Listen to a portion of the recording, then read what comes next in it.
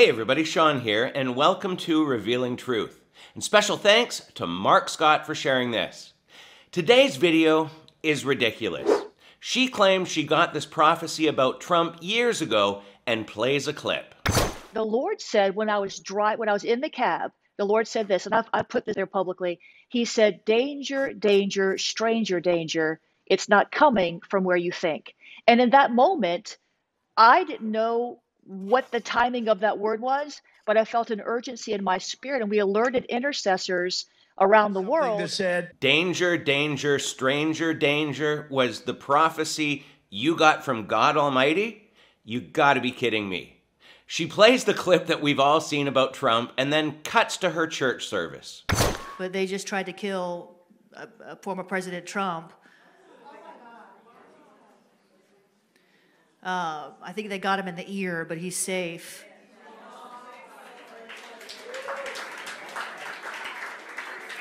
And no matter what your political beliefs, I mean, we don't. I would not want Biden killed or any politician or any human being killed. So I know some people really hate Trump, but can we just pray?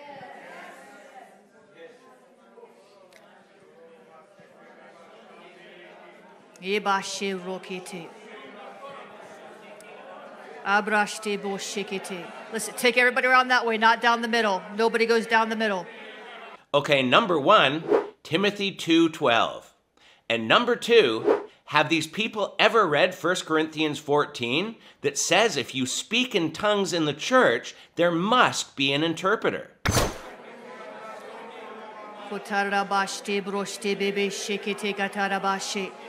Father, in the name of Jesus. Father, in the name of Jesus, we thank you, Lord, that you preserve the life of President Trump on tonight.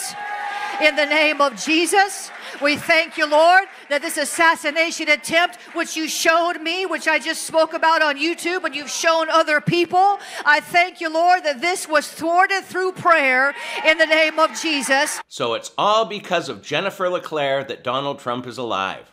She continues to pray for hedges of protection and then has another lady pray. We say, No mas, devil. You have been foiled. You have been foiled. You have been foiled. You have been foiled. You have been foiled. We thank you, Jesus. Come here, Betty, and pray. Stand right here for me. And just go ahead and pray.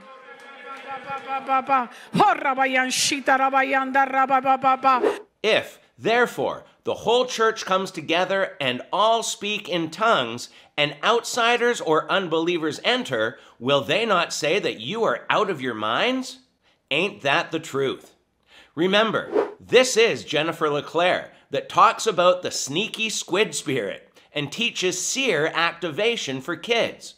Not to mention, she promotes other false teachers like Cindy Jacobs and phony demon slayer Jenny Weaver. And the fact that she would arrogantly take credit for saving Donald Trump's life is just one more narcissistic attempt to draw attention to herself. He said, Danger, danger, stranger danger. Seriously? Anyhow, we're going to leave it here for today, but leave your comments below, and until next time, take care and God bless.